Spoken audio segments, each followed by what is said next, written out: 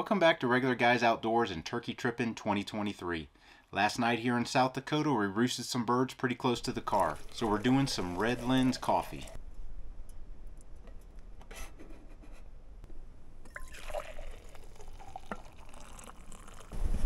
It's a little chilly this morning. And early. My farthest single guy out this direction. He started. He's not that far away. Should have two in this direction. First gobble this morning was 438. Alright, I definitely got my two over here. And I got my one over here. The one on my left gets down and he starts floating away from me, and then the two shut up completely. So I'm frozen here for a while, thinking possibly these two are coming up toward me. But after a good while, I decide I'm going to head toward where I'm hearing that single gobble and some hen talk. So I go down the drainage toward where those pair were roosted. I came down a drainage. I got some hens. And I just heard the gobbler. I think I can use this drainage. Maybe get ahead of them if they're going to go down the big drainage.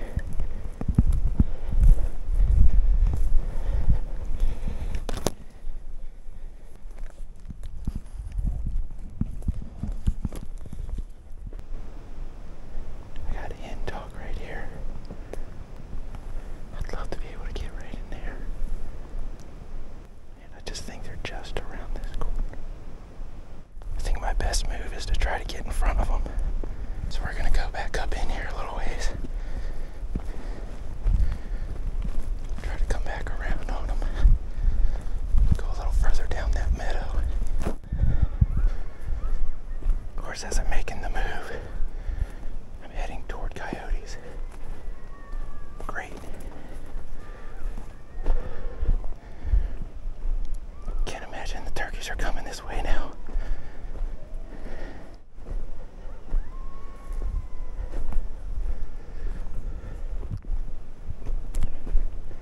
Still hear the turkeys over here. Alright, let's get down and see if we can find a little ambush spot. It sounds like they went up the opposite side. That's where I was sitting when I heard the gobble the first night I was here. Daggone it. I was hoping they'd come down this grass. I just belly crawled over to this cedar pinion bush. Yeah, I hear hens up here. And the gobbler.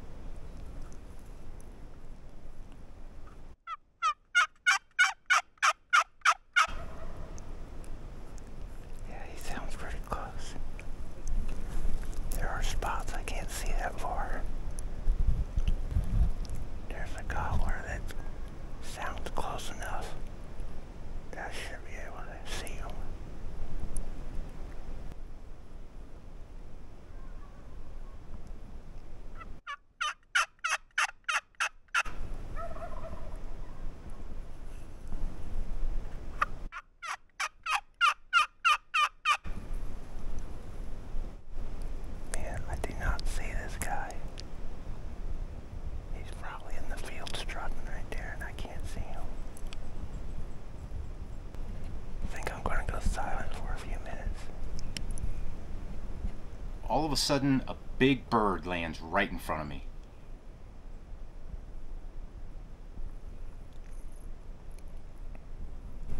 And it's a hen.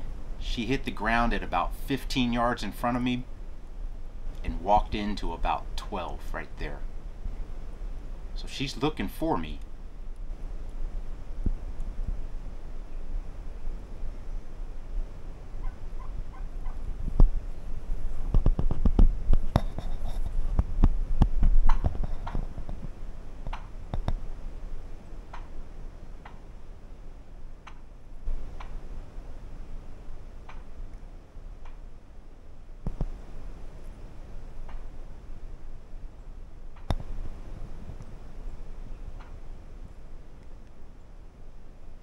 and right about there she goes back to just walking regular, pecking the ground, and heading back towards the flock across the meadow.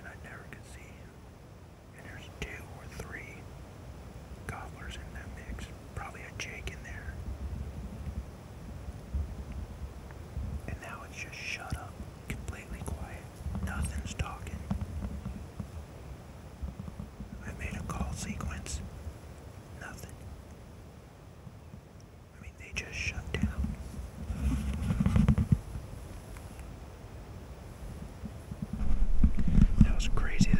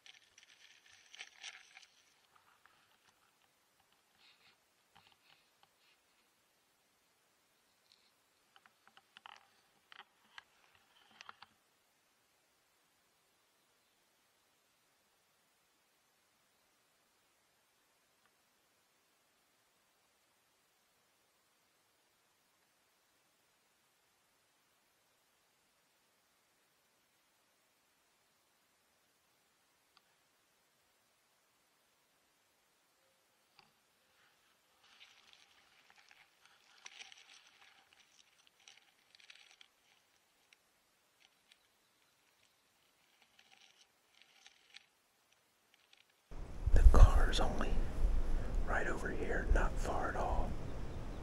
I might go back there, grab a couple things I forgot. I forgot the head cam. And I forgot to grab my coffee cup this morning, so I only had a couple sips of coffee this morning.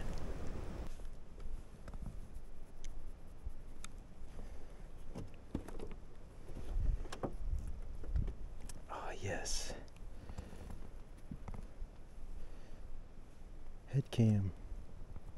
Coffee.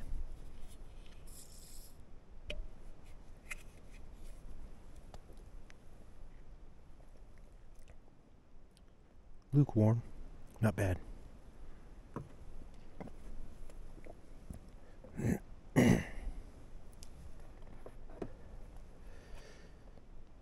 Forty-four degrees. Yeah. It hasn't warmed up much. This was not the forecast. That evening, I sit down in the spot where I was in the morning, trying to roost some birds. I did get one to roost nearby. I got a really good pin on him. He's roosted where the two were this morning, so he's above that meadow. Now, I've previously made a ground blind in that meadow in case birds were to roost on that ridge again. So I've got a good plan for him.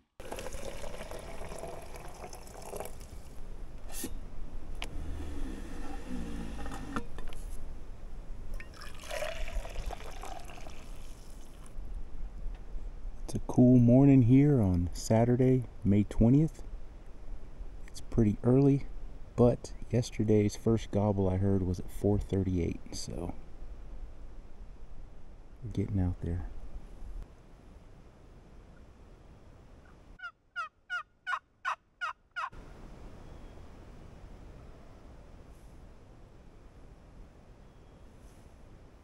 I get him to gobble, but the problem is he should have been at my 12:30, 1 o'clock, not my 9:30. What the heck, man? He was only right there. He had to have seen the decoy. I wish I had it facing any other direction. Because it's facing right at him, so he's, he's not seeing the white feathers or anything. I'm way overdressed to go chasing things right now. After a while, I climb the hill behind me, try to locate some kind of a bird, and eventually one fires off. So I got below the those guys on this valley. Haven't heard anything. Nothing's answered my call. But I did think I hear a gobble in this direction. I think I heard a gobble in this direction. And then I definitely heard a gobble in this direction. So we're off on a wild goose chase. Or a wild turkey chase, I guess.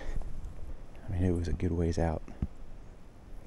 So I'm gonna cover a bit of ground then sit and listen a while and then maybe throw out a call or two see if i'm anywhere in the ballpark. There's a chunk of private over here. Somehow find myself having to be concerned with private land out in the middle of all these acres of national forest Now, the same thing continues to happen. I have birds at night, I know where they are, I set up on them in the morning, and one way or another, they completely avoid me. Whether it is, whether the hens walk off and drag the toms with them, or the toms just have somewhere else on their mind and they just go the opposite direction. But going on the couple of those wild goose chases I went on and chasing birds down got me to go into new areas, which was good because I, I saw some new places, got familiar with it, and that's where those birds wanted to be. So it's not a bad thing to know where they want to be and where they're going to.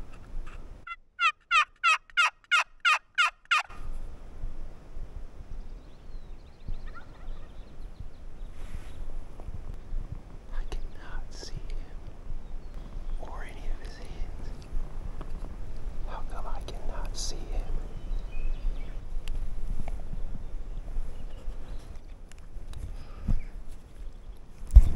I have finally laid some eyes on birds. I see two hens, I believe. Well, what's that behind them? Yep, that's a longbeard. I have spotted my first longbeard in South Dakota. Holy crap. They are a ways out there. And they're in the wide open. But I can keep tabs on them. We are going to. I Guess we're just going to follow him. Looks like two hens and a longbeard. He's looking around. Oh, strut. Okay. Yeah. We're going to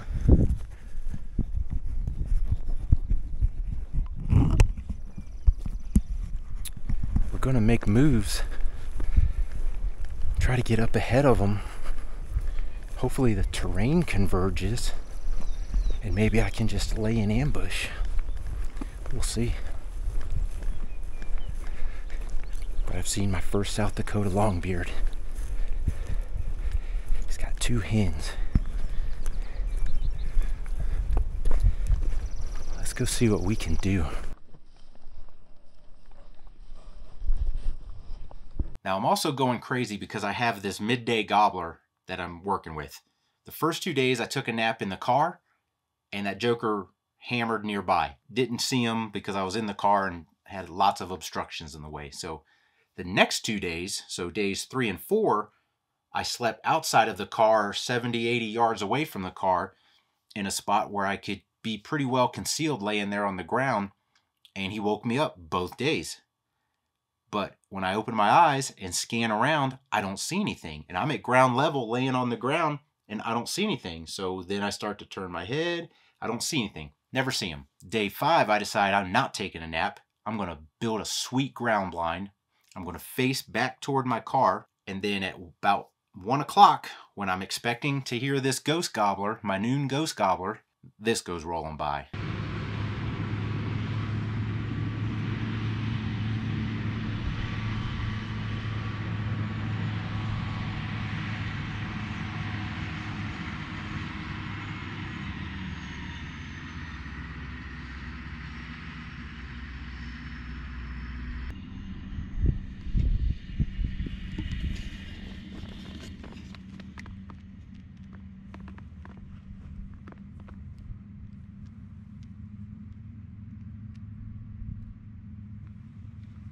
Not great timing.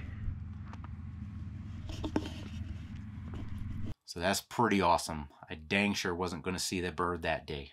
I'm also extremely tired and I'm making some dumb decisions. Partly because of this ghost gobbler that keeps waking me up and I don't get a really good nap, and partly because the nights are just so short there in late May. I'm very tired and I am doing some dumb things besides leaving my head cam and coffee in the car, doing things like this. Remember I said I'm really tired and I'm afraid I'm, I'm gonna start doing stupid things. There's one. There's no good to lock the, the car up if you leave the door open.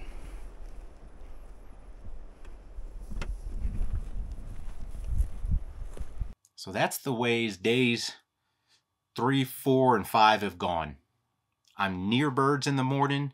I hear something midday, and I hear them at night to get a location to set up on them in the morning. Night of day five, I've got another bird roosted. It's in a spot I did another wild goose chase on, but there's this beautiful green meadow in the middle of the woods that I'm really sure these birds want to come to in the morning.